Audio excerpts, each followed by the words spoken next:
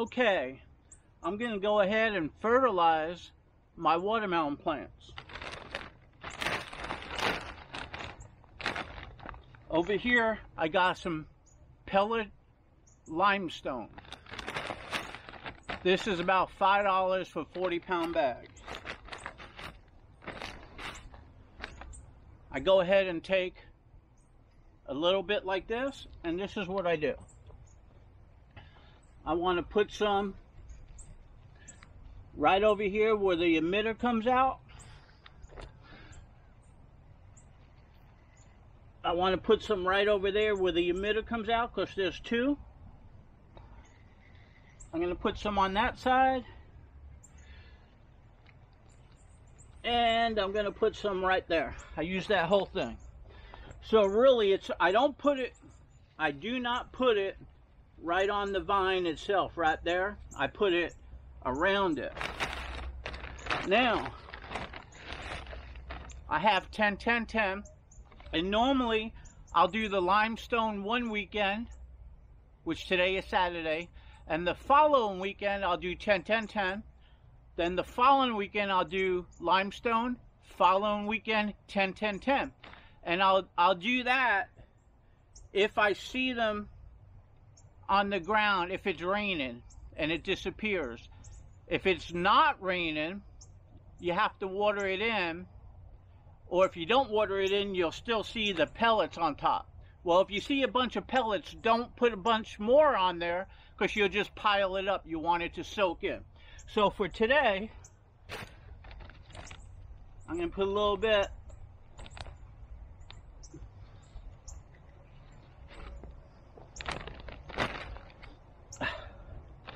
around the plant.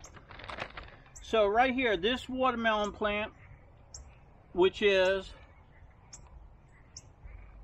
a crimson sweet, it's growing nicely.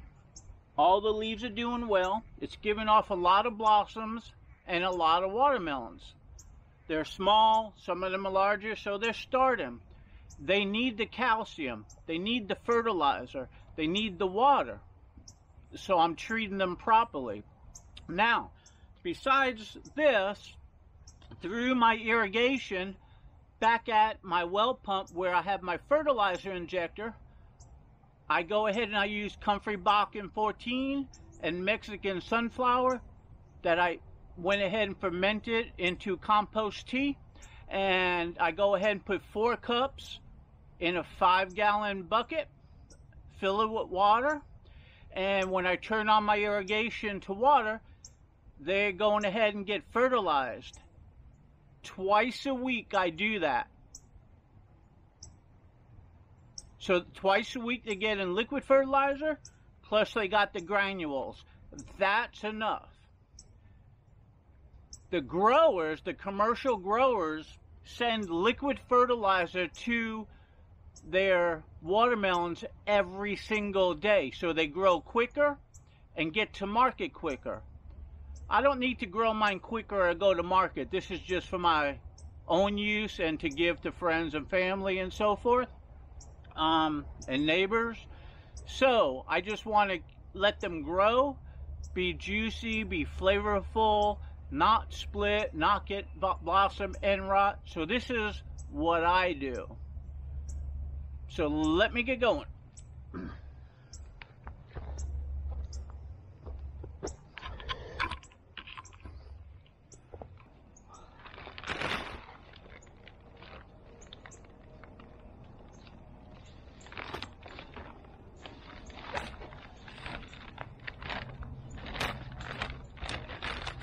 Okay, so once again, I'm going to fertilize this watermelon plant right here. Going to put down some limestone under that emitter. And when you're in here, you want to miss all stepping on the vines. Going to put it on this one, put some up there, and put some over here by my foot. That's a happy plant. Now I'm going to take some 10, 10, 10, put some over there, over here, over there.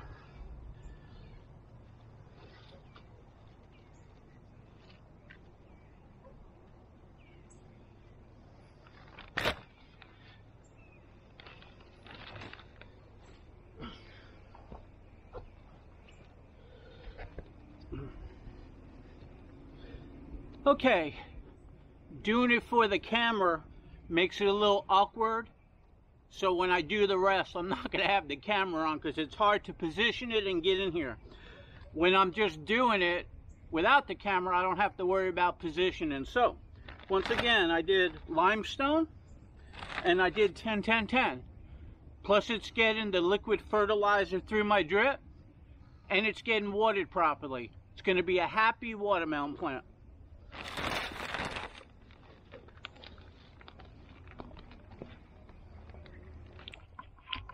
Okay, so I showed you how I irrigate, how I go ahead and put down the fertilizer, what I fertilize with. This is my watermelon crop here. It also goes down to the other way. There's 200 feet of watermelon crop that's going to be coming in.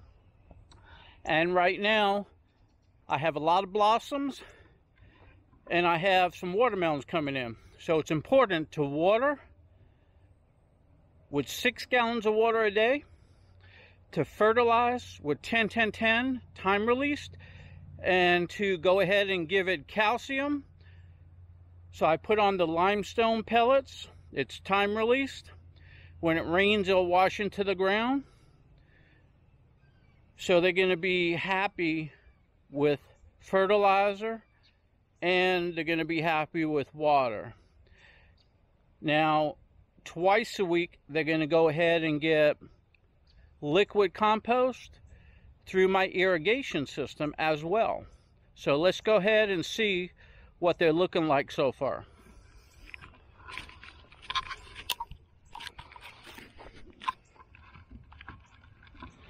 Okay, so you kind of see where I went in there. That's why I don't want to do it on the video. Without the video, I could step, come in the other way, don't have to worry about position, so I'm not going to do the rest on video. So, as we walk around, you'll notice there's a lot of blossoms. I got watermelons coming in. A lot of them you can't see because they're hidden from the leaves. But as I walk around, you'll be able to see there's some good watermelons coming in. There's another watermelon over there. And there's probably more hidden that I can't see. But let's go ahead and walk around over here and see what we find. There's another watermelon. There's a smaller one coming in. There's a lot of blossoms on there. Here's another watermelon. A lot of blossoms. There's a watermelon hiding way in there.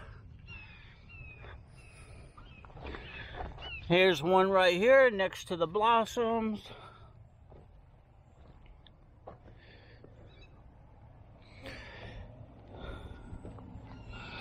Okay, over here, small watermelon, small watermelon. A lot of blossoms. Another watermelon. Watermelon here, watermelon there. If you can see it.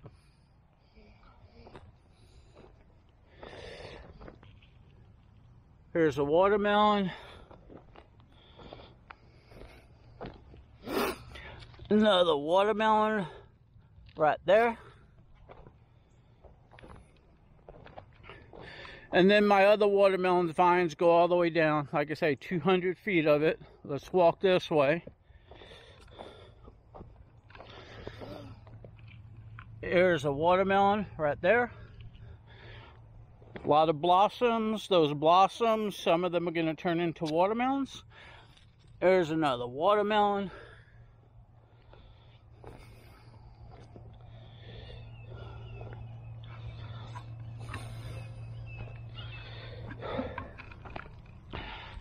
There's another watermelon.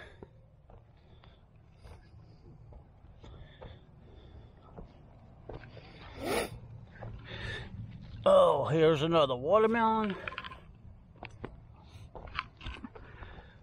As you can see, they're around.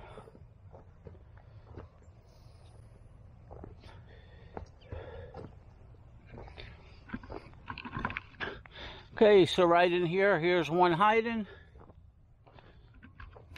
Okay, so you get the point.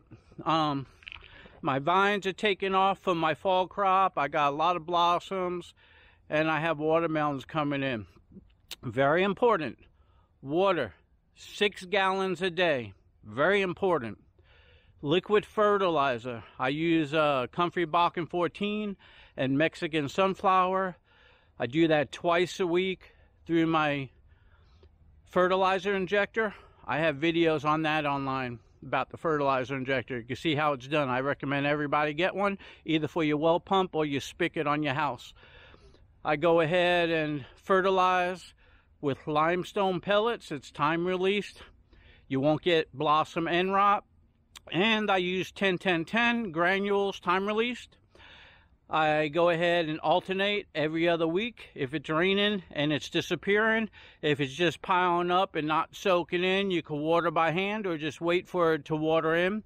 But one thing you don't want to do is deplete the nutrients and the vitamins from your watermelons. They'll get blossom end rot and they won't grow to be really good, juicy tasting on the inside. Usually when you cut them open, they'll be whitish and it won't be fully ripe. Plus, if you don't water six gallons a day, you'll go ahead and when it rains real hard, they'll, they'll be starving. They'll suck up a lot of water at once and they'll burst. But if you do everything that I just said right over here, you're not going to get blossom end rot. You're not going to get any watermelons bursting. And when you slice it over, when they're ripe, it's going to be fully red, yellow, or pink, or orange, whatever color watermelon you have. And it's going to be juicy all the way to the rind. And you can scoop out and eat the rind because that would even be done. So, I hope you learned something. I hope it works for you. If you use this method, let me know. If you use a different method, let me know. You have any questions, let me know. I'll be happy to help you out. Until next time.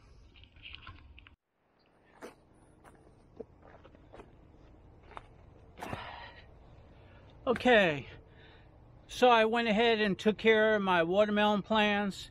I went ahead and fertilized them with time release. Now I'm going to go ahead and give them some compost tea. So I got my bucket in here.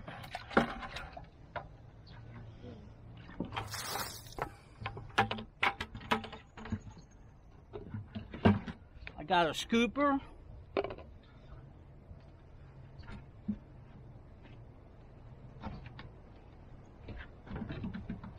Okay, gonna put my bucket right under where I'm to fill it up with the spigot. I'm to mix my compost tea.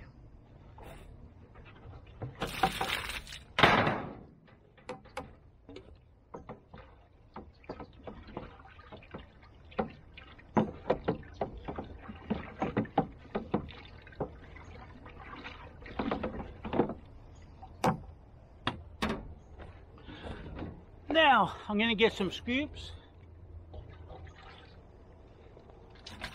That's two cups. Okay, so right there is four cups of compost tea. Let me turn on my well pump.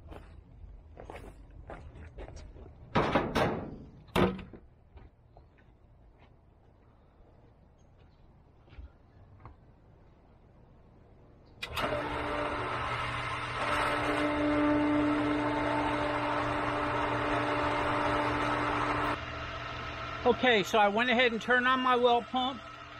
I got the compost tea in here. Now I'm going to turn on my spigot. And I'm going to fill this bucket up right here.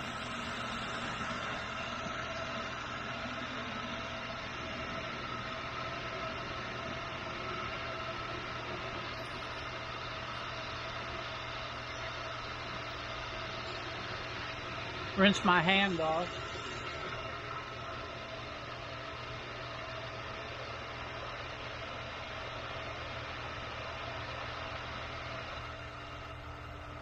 Okay, now I'm going to take my filter and my hose and I'm going to stick it in the compost tea right there. And now I'm going to turn on my valve system so it sucks up through the tube and goes out to the garden. This is how that's done. Okay, so as you can see, my compost tea right here is filled up.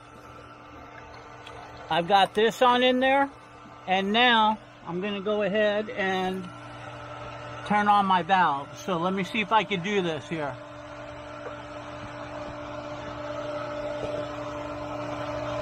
I have to go ahead and turn this valve right here. And that makes the water go through. I have to the water's going through that way now. I have to shut this off. Okay. Okay, so I shut this off so the water don't go that way. Now the water's coming through this way and it's going out that way. There's a pressure gauge here and a pressure gauge here.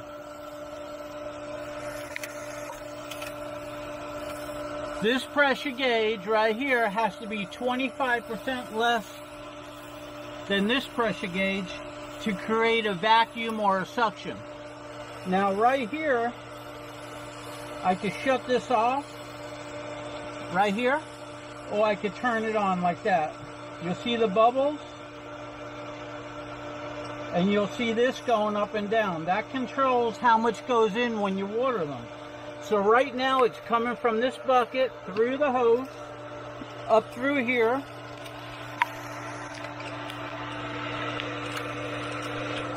You can kind of see when I turn this, I shut it off, it goes to the bottom. When I turn it on, you see how I can control if, how far that goes up. If you turn it all the way on, a lot goes through and that five gallon bucket will be done in a few minutes. If you lower this like that, it'll take about 45 minutes or a half an hour to 45 minutes for that whole bucket to go through. Just like that. And it'll probably go quicker if I clean out uh, the filter over there. But this is good right here. So I'm going to go ahead and let that go. So just to recap, my pressure over here this needs to be 100%. And this one here, this valve reduces this pressure 25%. When you do that, it creates a vacuum which takes the liquid compost tea through the hose, sucks it up through the regulator over here, depending on how fast you want to go, goes through the fertilizer injector, and then it goes out to your garden. Okay, so once that's complete, right now I'm fertilizing my garden through the fertilizer injector. That's all there is to it. It's sending fertilizer to every little drip head emitter and it's watering it's watering right now my whole garden. It's watering my grapevines and it's watering all of my uh, watermelons. So I do this twice a week so they get good fertilization. However, I still got the granules. Remember, I got the 10 10 10 and I have the calcium pellets, which is limestone pellets. It's basically calcium. That's going to keep your watermelons very healthy. And it's going to keep your grapevines healthy as well and it's going to keep your garden healthy as well. Now the garden, I've been using AgroThrive on it. This is multi-zones. So I can send fertilizer to the watermelons, I can send fertilizer to the grapevine, and I can send fertilizer to my garden. Soon I'll be sending fertilizer to all my banana plants, to the comfrey, to Mexican sunflower, and my entire permaculture landscape that I have. This winter, I'm going to get out there and do a lot of digging and lay a lot of pipe. So anyway, this concludes what I do to keep my watermelons growing and growing healthy so they don't get blossom end rot and they don't split when it rains. I hope this helps somebody out there And if it does, please let me know. I'd appreciate it. Until next time.